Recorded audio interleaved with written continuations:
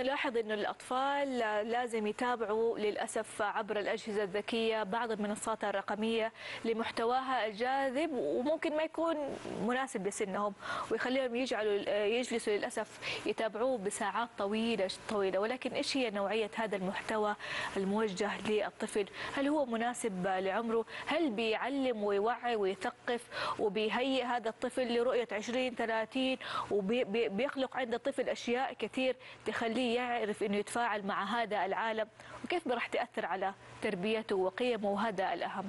حنتكلم عن هذا الموضوع بتفاصيل أكثر مع الأكاديمية والمستشارة في الطفولة الأستاذة نادية السيف، أهلا وسهلا بك أستاذة. أهلا وسهلا فيكم مشاهدينا الكرام. بداية خلينا نتكلم على الواقع. هل هناك مواد وبرامج مقدمة للطفل عبر المنصات المتنوعة سواء إذاعة تلفزيون وحتى الإعلام الحديث من منصات الوسائل الاجتماعي نعم هو أكيد أنه فيه طبعا محتوى يعني في سواء مثل ما قلتي مسموع أو عبر المنصات الرقمية لكنه يظل محدود و... وفردي أفراد. يعني أو جهود أفراد أو جهات معينة لكنه محدود. نعم. آه لكن اليوتيوب طبعا أعتبرها نافذة كبيرة وواسعة للطفل إنه يدخل ويتفرج و... ويدخل حتى يبحث عن شيء معين. وتلقى ينقله من مقطع لمقطع سريع. فجأة تلقى بعد ساعة انتقل المحتوى مختلف تماما. بالضبط. آه ف... ويشد الطفل له ولا يحس بالحركة السريعة بالصوت. آه ولا ننسى ان الطفل يحب الفضول ويحب الاستكشاف. يعني هذا شيء من شخصية الطفل. والتجارب. لا يدخل إيه يشوف هذه التجارب تجارب. حتى الأطفال بالاعمار 12 13 يحبون التحديات. فتلقى نشوف مقاطع تحديات. ويبتل آه في هذا النحو. نعم. طيب دكتورة محتوى أنت قلتي قبل شوي اليوتيوب. إحنا قاعدين نشوف محتوى اليوميات العائلية مع أطفال من الفلوقات المقدمة للأطفال بعض الأحيان. ما تخدم آه عقلية الطفل؟ يعني مثلا الأم ما ترتاح يكون محتوى مو هادف نعم. آه ضحك صريخ زي ما قلنا قبل يفتحوا شوي ألعاب. يفتحون ألعاب يسوقون لأشياء معينة.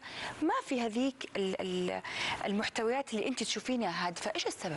طيب هي إيش فكرة الفلوقات على قولتك؟ وال... هي فكرتها إنها فيديو بلوج يعني هي مدونات فيديو. وهذه المدونات يدونون فيها الأشخاص حياتهم اليومية بطريقة عفوية وبكل بساطة. وهذا اللي يجذب الطفل الحقيقة العفوية هذه وهالبساطة والواقعية بنقلهم هذا هذا هذه المقاطع يعني. فالطفل هنا ينجذب له يعني بصراحة حتى الشباب يعني حتى الشباب اللي عمر 22 سنة لقوا إنه يعني نسبة كبيرة منهم يعني من عمر 13 ل 22 سنة يميلون لهذه المشاهد. حتى إنه تعجبهم بعض الشخصيات لأنها تكون موهوبة وخفيفة الظل. فحتى نقلها الأشياء بكل واقعية وبساطة وعفوية وعشوائية خلينا نعتبرها إحنا فوضى منظمة. هي فوضى بس إنها منظمة. إنه بشكل يومي أنا اطلع لكم وين رحت وين جيت. فالناس يحبون يحبون يعني يمولون للفضول ويعرفون خبر هذا الشخص بالذات إذا حبوا الشخصيات اللي في المدونات هذولي. بالعكس جميل كلامك وحلو. بس البعض ما يعطي هدف. يعني أنا أتذكر إني أنا أشوف بلوجات يوتيوب لأجانب. معليش الفيديوهات كلها فيها هدف. على لو بطريقة خفيفه على حسب المدونة. طبعا الاطفال هم ليش يتابعونها؟ لأنها عفوية. لكن هل اللي قاعد يقدمها هو أصلا قاصد من يقدم هدف مش الكل. مم. يعني حتى مثلا إحنا الكبار إحنا نتابع مثلا يوميات معينة مثلا الناس يهتمون في الرياضة أو في علم ما أو اهتمام معين تلقى إحنا نميل لهم. الطفل يبغى يعني ما ما يدرك كيف يقدر يختار الأفضل. الطفل دائما يميل للأشياء السلبية أكثر من الإيجابية. الطفل ما يقدر يتخذ القرار في مرحلة أقل من 12 سنة. يبحث عن المتعة والترفيه والتحديات فلذلك اختياراته غير صائبة دائما لذلك إحنا نقول لابد من مراقبة الطفل لابد من محتواه لكن الأطفال نجد أنهم يميلون لهذه المقاطع اليوتيوب ممكن يقعد عليها بالساعات ترى ولا يحس يعني في الوقت يعني ومستمتع لكن هل هي تأثر عليه؟ نعم طبعا أكيد طبعا أكيد تأثر, عليه, عليه. نعم. يعني هذا شر لابد منه يعني وهذا نعم. شيء موجود وما فيش اختيارات. ما عندي أنا خيار آخر. يعني أنا لما ولدي ما. حقدر أحرمه وأقول له لا تتفرج والله على راين وهو بيفك الألعاب ولا على ديانا وروما وهم قاعدين مع أبوهم يلعبوا ويجيبوا الأشياء الغالية وزي كذا. لأنه ما عندي حل آخر ما فيش اختيار آخر. يا إما حيتفرج على الكرتون يا إما حيتفرج على اليوتيوب.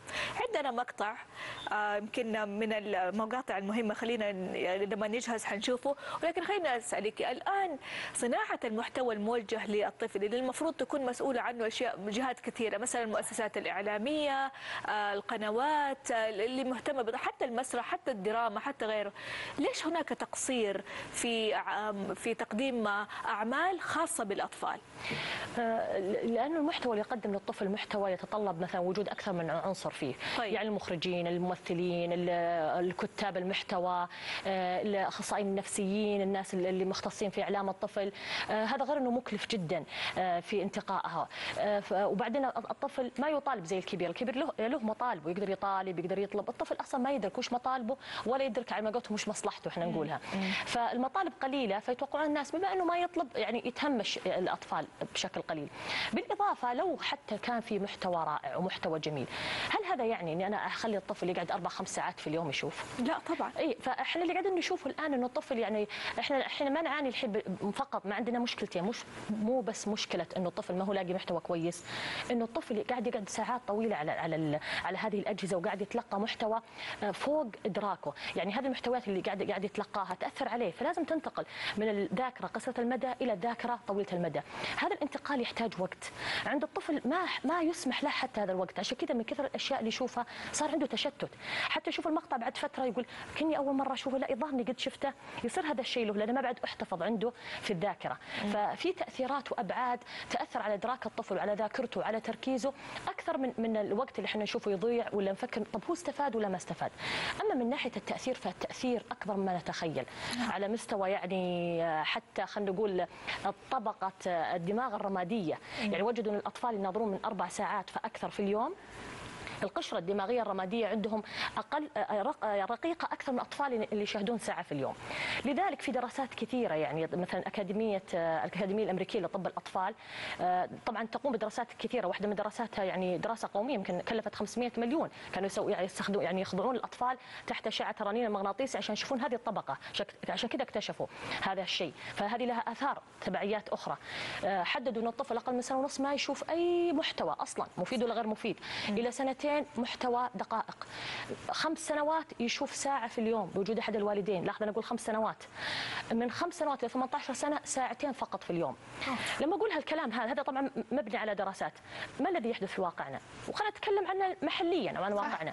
الأطفال عمرهم سنتين ثلاثة قاعدين يتفرجون على على محتوى بالشهور ست شهور والله الام صدقتي. الجوال. والله صدقتي. إنه أشهر ما كمل سنة وتلقين الأم وبمحور إرا- إرادتها وبشكل مقصود تفضل خذ الجوال حقي. رايحة مكان عام تلقينا بعربيه التسوق في مطعم ما عند آه، اجتماع الأسرة. تفضل تعطيه الج... أصلا طفل يقعد معها يعني يشر لها أعطيني الجوال.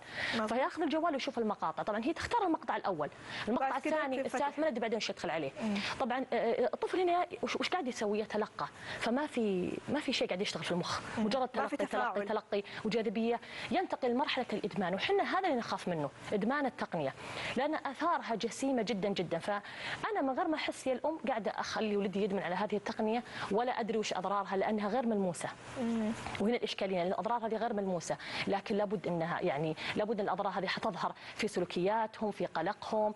آه، المقاطع بعضها لا تليق لا تليق ابدا. فيها عدوان فيها عنف ربما تليق حتى ما تتلائم مع ثقافتنا ما تتلائم مع مبادئنا. كثير كثير كثير منها صحيح. أو على قولتك يشوفون بعض اليوميات اللي تكون حتى فيها إحنا إحنا نشوفها إنها تافهة أصلا.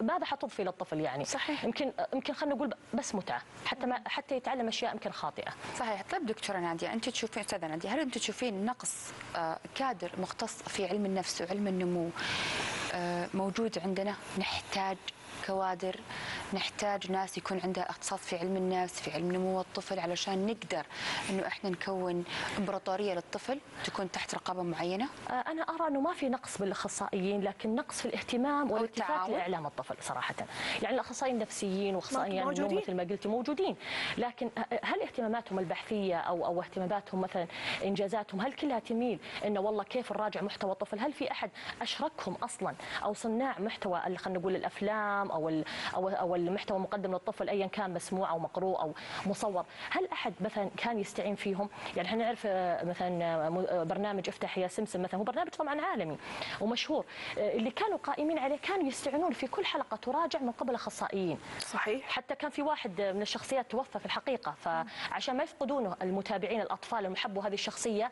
قعدوا فترة سووا يعني ورش عمل كيف يخلقون موقف سيناريو كامل إنه يقنعون الطفل إنه كيف هذا مات.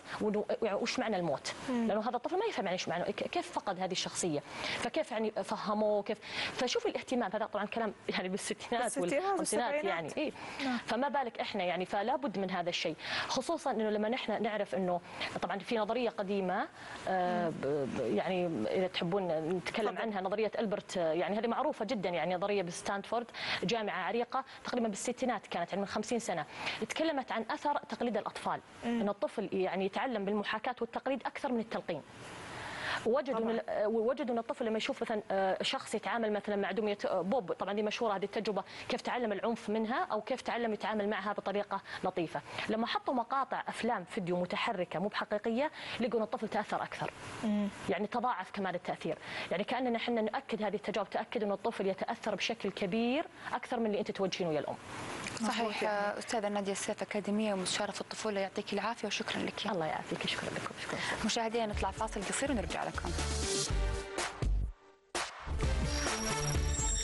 بعد الفاصل المدرب تركي خان يوضح طرق إنهاء العلاقات بطريقة صحية.